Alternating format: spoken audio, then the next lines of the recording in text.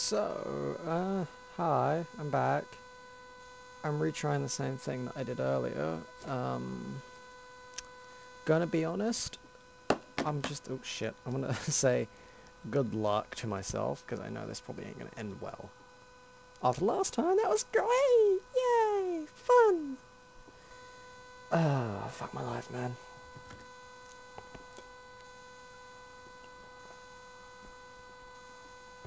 Be nice if this loaded. My personal preference, I think, my favourite thing about Arma 3 is the diversity and how unique the actual game is as a company and as the ownership goes. It is fucking unique. It is So, the supply drop. the best. This was when exactly? Right around the time we saw the ceasefire starting to break down. Must be more than a year ago now. So, at that time, your camp was in the center of town. Yeah, things were getting pretty desperate, though.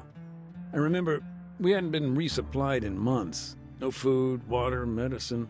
We were used to issues with logistics, but I don't know. In the end, it got so bad U.S. forces prepared an airdrop. Not an easy task, considering, but those crates, they really were life and death. That's why we needed somebody on the ground. Someone to make sure they came down okay. And who was that? A guy named Adams, part of the NATO peacekeeping force. Close friend of mine, actually. Adams, he went out alone. From the way he told it, he may as well have. No, he went along with some new recruits, local bunch. It was his job to show them the ropes.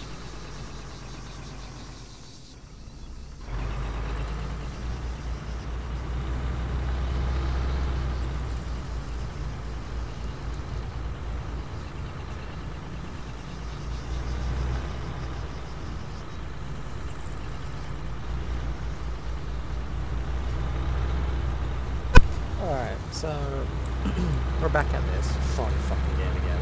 It's an amazing game that pissed me off last time because we stuck and then Something I'm not quite clear on. a piss take. Why didn't IDAP transport the aid themselves? There must have been a reason. Yeah, there was. A couple of weeks previously, guerrillas had ambushed a convoy. Okay, you It was some notes, so dissident group about out to sabotage the peace talks in Kavala. Anyway, NATO intervened and the whole thing just blew up. A checkpoint was hit. Protesters were fired upon at the MOD. Yes, uh, uh, we were there. AAM. Then you know how bad it got. Our movements were limited by the government. Exactly. And convincing anybody to reassign troops, to escort NGOs, just a total non-starter. East of the town, there was a potential drop zone on the outskirts of guerrilla territory.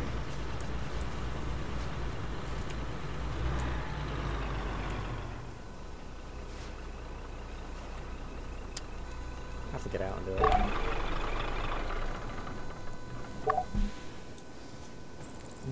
Northwest, if the wind is in northwest direction. I'd say about southwest, because it then still keeps pulling south. Once he called in the airdrop, that was it. They just had to sit tight, hope for the best. One Ah, thing I don't understand. Ah, What were they doing there, all the way up in the mountains? The town, Oreokastro, this place has historic ties with the guerrillas. For years, people here would provide them with food, water. I see. The government responded by draining the swamp. And that involved sending soldiers? Yeah, coin ops. Adams and his guys were there to remind them of their R2P. Just a sec. I'm getting a bit lost in the lingo here. The here. fuck was Hmm? Oh, gotcha. Um. R2P is their responsibility to protect. Counterinsurgency can get real messy real quick. He was in charge of training, laws of armed conflict, that kind of thing. Now, I want to point out, um, you can actually go anywhere in this map, which is amazing. Like, well, most of the map. Adams normally This tossed out an orange You can go smoke grenade, which marked his position for the pilot. Oh, fuck's sake.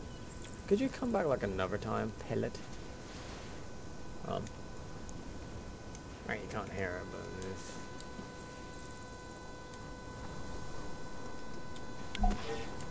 Alright, let's hope we don't have the same issue as before. Look at him. Look at that.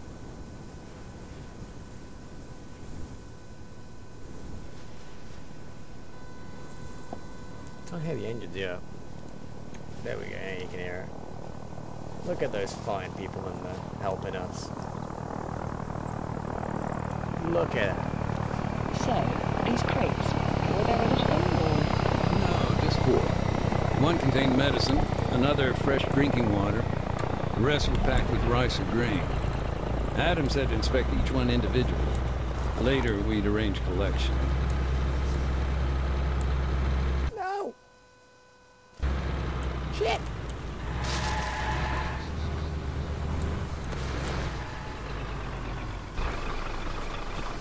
Yeah, smoke doesn't really help now, but I mean, fuck it.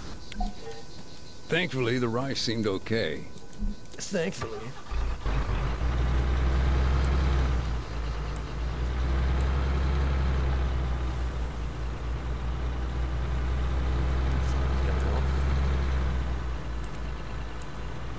Alright, well at least that's coming up more or less.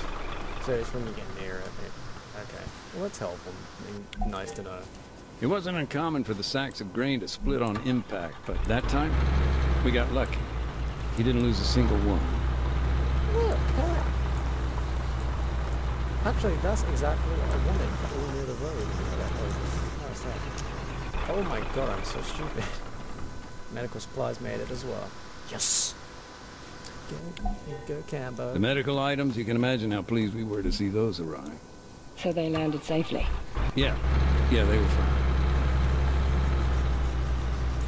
Yeah, yeah, they were fine. Really. That's right. Yeah. We better not have gone into a fucking trees game. Actually, yeah, it would have gone. It would have gone near the trees. It would have continued sliding. Or it could just be next to me. Bang. Uh, As I recall, the bottles of purified water were fine. We've been waiting on those for weeks. As for the crates, they still needed to be checked before anyone else arrived.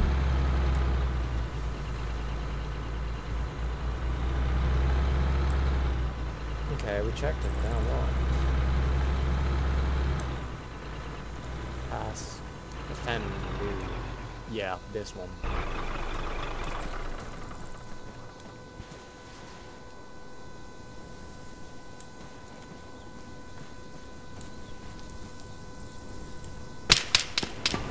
Ooh, fuck Now, the thing with airdrops, they're not exactly subtle. Smoke, noise of the plane, or bright green parachutes, they're gonna get you noticed. And when you're in the country, that's the problem.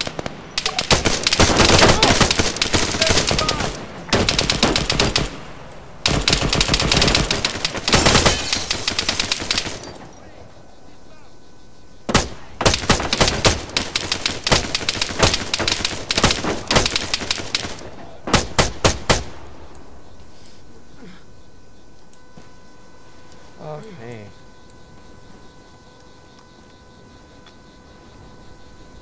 Shot this shit, man. Bleeding everywhere.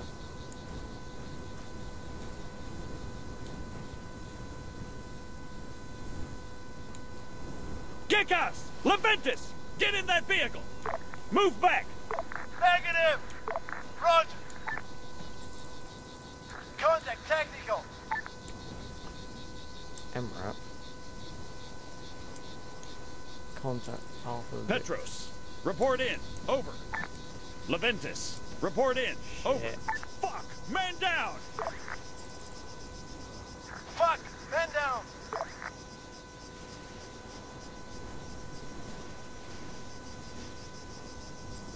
Uh, what can we have? Alright.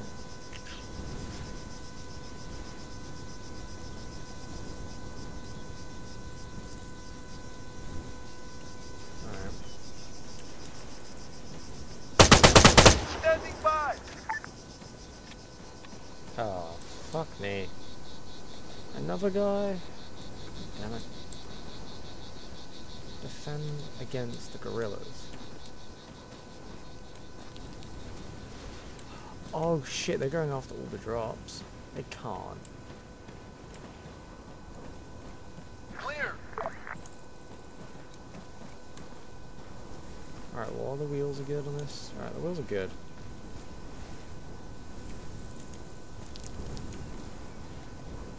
Alright, get your ass out, man. Passenger. Alright.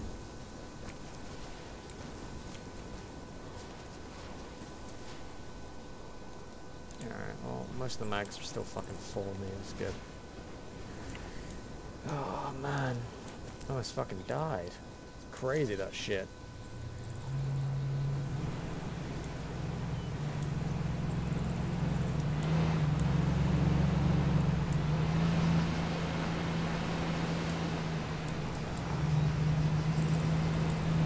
Seems fine. Over here. It's gonna be a problem, ain't it?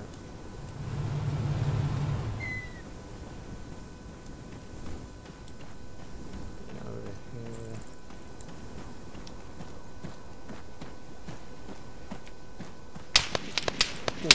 Oh, fuck. 75 meters front. Contact. Rifleman. 75 meters. Left. Alright, in the tree line, or down. There you are, mate. Alright. Nope.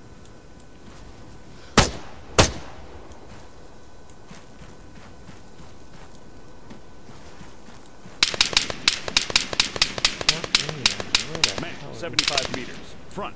75 meters? Oh fuck, he's coming over the hill.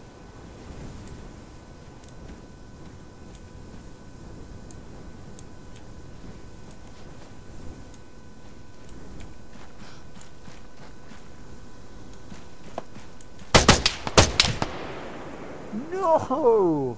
Bastard! Mate, doing this fucking oif. Stressful.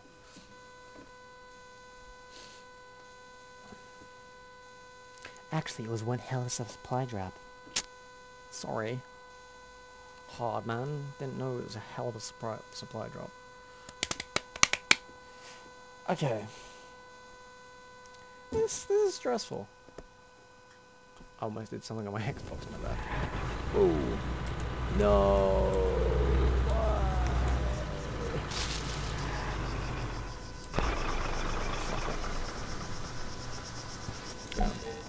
Thankfully, the 300 rise seemed okay.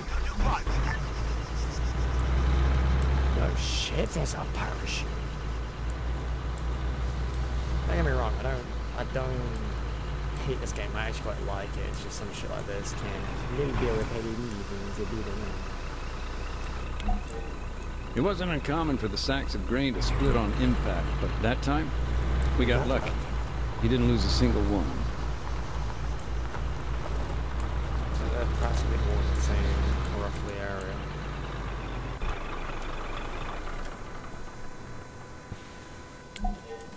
The medical items, you can imagine how pleased we were to see those arrive. So they landed safely. Yeah, yeah, they were fine.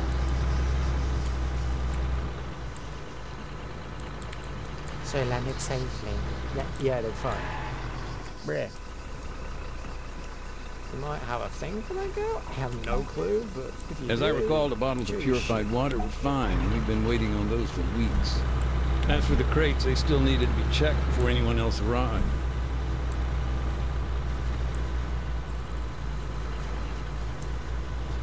See, and then the new task is wait for the ambush. Great.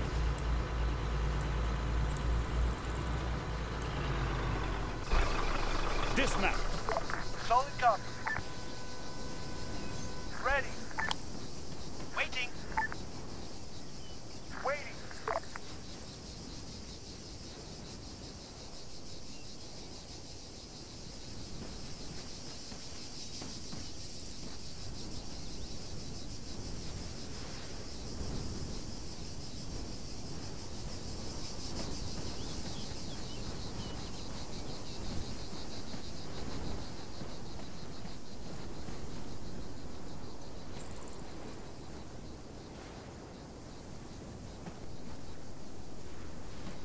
There's an enemy. Now, the thing with airdrops, they're not exactly subtle. Smoke, noise of the plane, those bright green parachutes, you're gonna get noticed. And when you're in middle of them, that's a problem.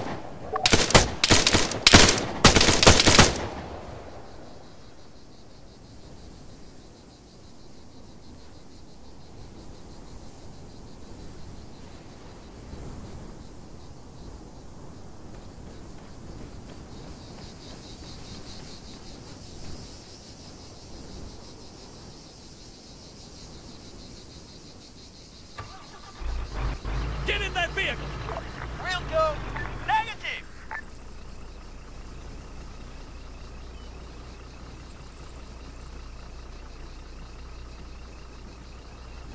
Ready.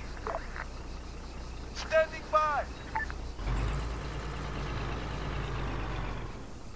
Technical 100 meters just up ahead. Leventis! Board that vehicle! Copy that.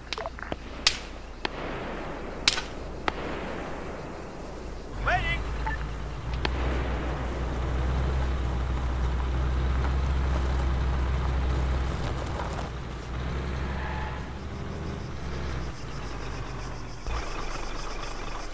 Dismount! Copy. Ready. Cavalry fire! Standing by. Ready. Cover me!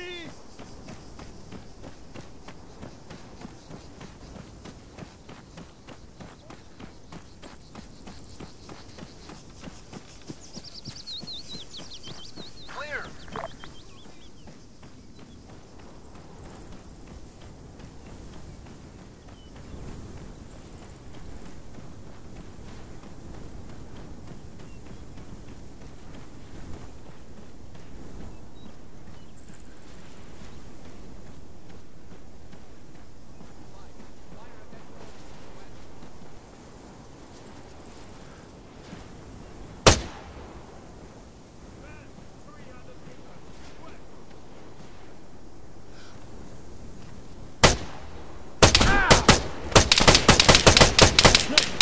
Contact! Soldier! Medic!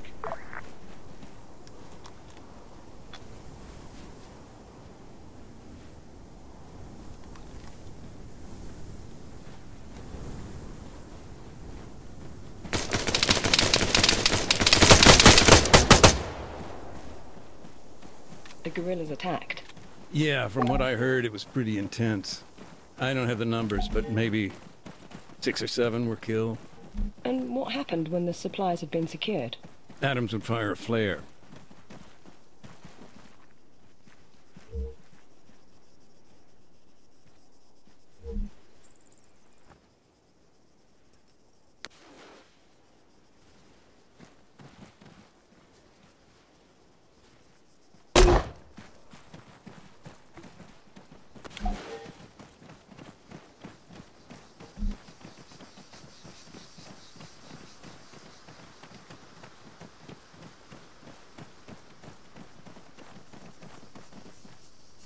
Back at the camp, of course, we'd heard all the gunfire, but that flare, when we spotted it, I don't know, felt like finding a moment of hope or something. Sure. I can only imagine. And thanks for sharing. It puts a, I don't know, a human perspective on my work. Speaking of which, your friend, do you think he'd be willing to contribute further? Even, you know, off the record. What with the topic of my article, having an expert, an instructor on the laws of war. Look, I'm sorry. I, I know he'd help out however he could, but listen, he died on Stratis. Year and a bit later. Landmine. Alright, well, that's where I'm going to continue it off later, guys, because that's probably a little bit more of a touching subject on how it is and all was. Um, hope you guys enjoyed. And Game Spectres, and um, yeah, I'm out. Peace.